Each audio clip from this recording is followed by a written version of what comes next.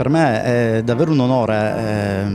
partecipare a questo evento, soprattutto in un giorno particolare che è quello del 31 ottobre, nel sabba più importante e sacro dell'anno. Eh, I proprietari della villa hanno scelto i miei libri e quindi di iniziare una serie di eventi con la mia presentazione, con una presentazione per la prima volta duplice perché parleremo di entrambi i libri in quanto la storia è unica,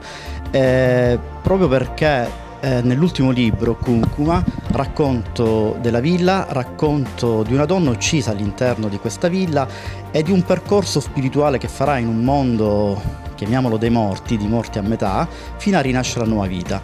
Eh, è un evento particolare, diverso da una presentazione classica, con me ci sarà la giornalista Antonella Folgheretti, ci sarà il professore d'arte Giovanni Melazzo e poi le letture saranno eh, a carico di mm, Ernesto Maria Ponte e Clelia Cucco. Uno dei, eh, dei discorsi che abbiamo fatto con la proprietà è proprio quello di